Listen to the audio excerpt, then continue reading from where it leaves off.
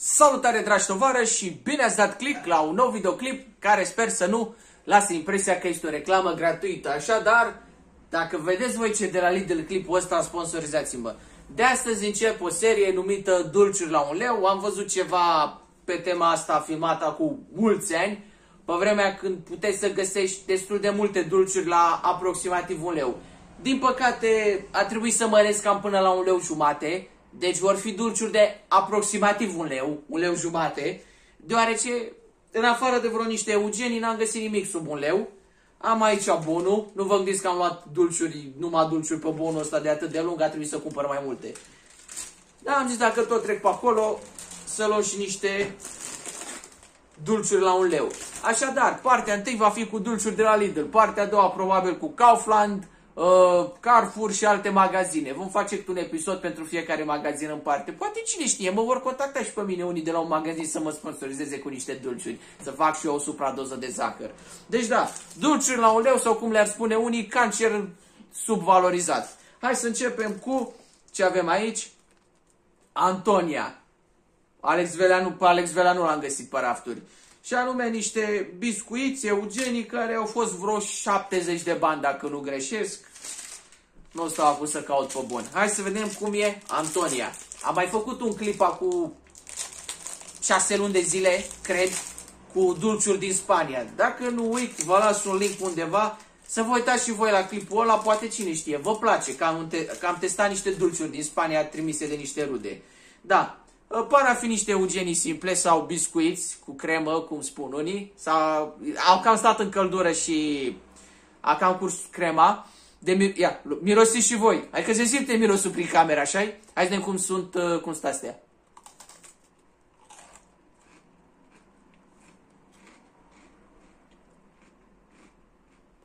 Crema e mai bună decât cea de la Croco.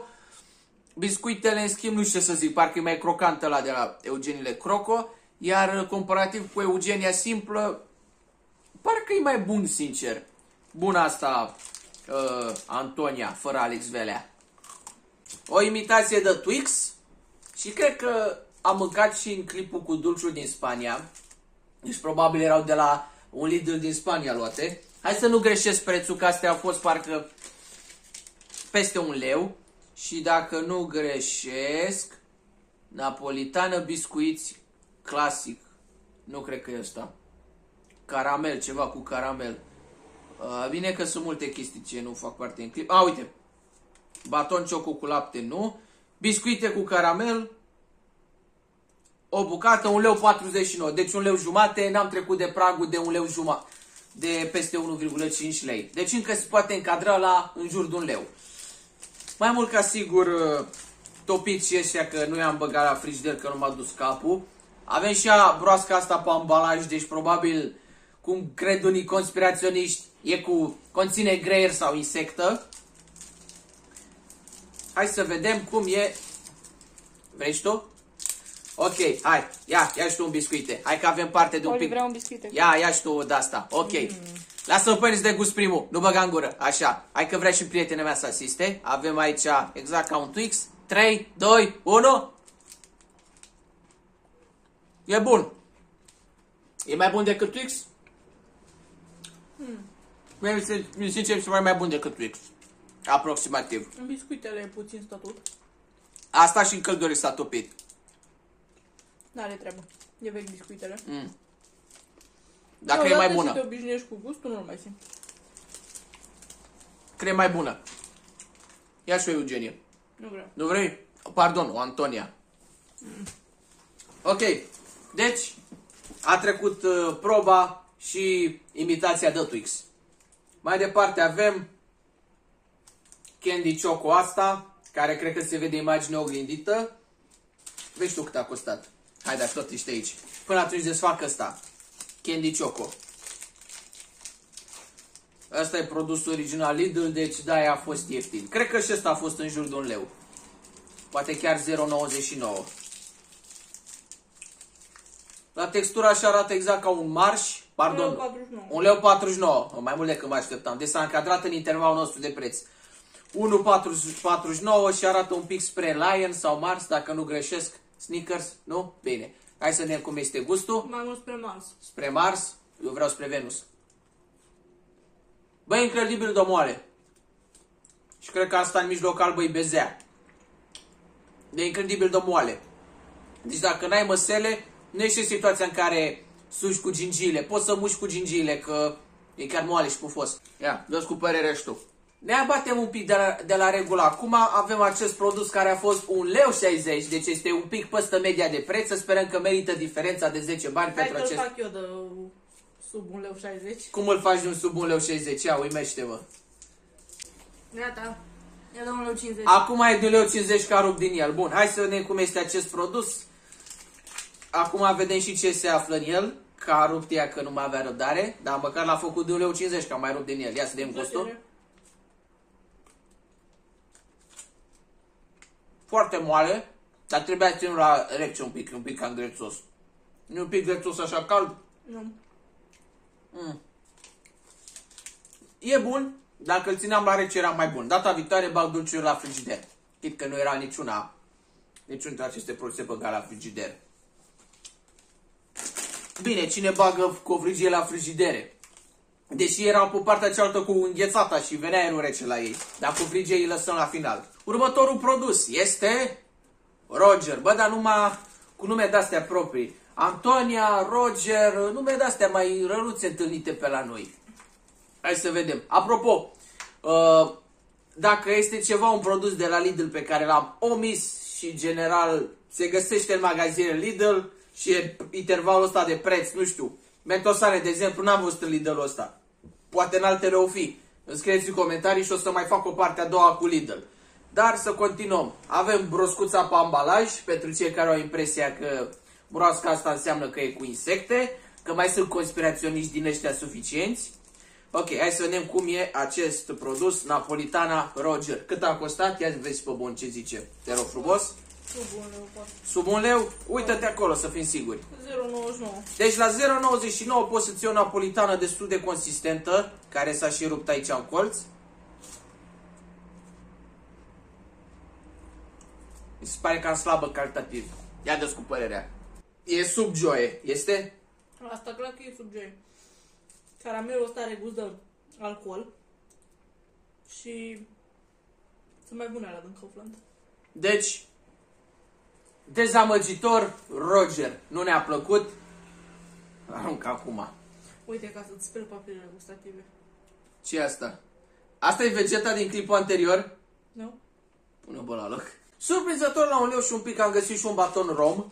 Măgura n-am văzut, dar măcar am găsit un rom. Mai are rost să-l, să testez acum în clip. Știm cu toții ce gust are rom și îmi place. Pe ăsta îl mănânc mai târziu, că mi s-a plecat un pic de atâtea dulciuri. Următorul produs este un înlocuitor pentru Snickers. Ceva cu caramel și choco. La textură arată exact ca un Snickers. Sau ca un căcat.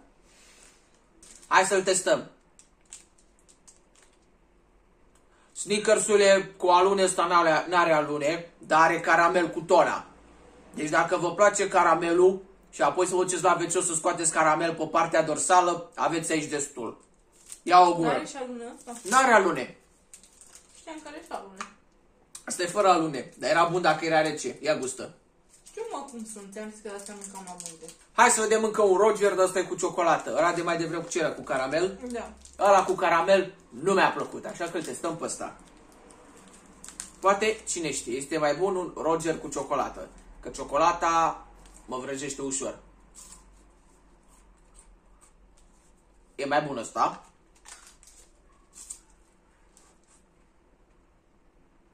Dar, uh, Era și mai bun dacă era rece, știu. da, că pică ciocolata de pe el. Dă-ți cu părerea și tu. Nu, că știu. Nu e ca Joe, dar merită un leu ăsta. De la cu caramel, nu. Și ultimul produs, Covrigei, 99, 99, 99. 99 de bani, ăștia cu sare și cu mac, mai erau cu chimen și cu vanilie. Cu vanilie n-am găsit, dar ci că erau pe acolo, că scria pe etichetă slash slash slash fiecare aromă și aia cu chimen n-am luat că n-a vrut ea. Hai să testăm covrigeii, parafid ăștia super ieftini, mai erau unii cu usturoi, mâncasem o dată și mi-au plăcut. Ia știu un covrigel. Ai, dar nu mi-am făcut unghiile. Nu, nu am manicura făcută. Gata, se poate spune că i-am pus și idelul acum. Hai, Ce mâini mici am și asta e dacă ai mâinile mici. Bun, hai să testăm și odată și covrigul.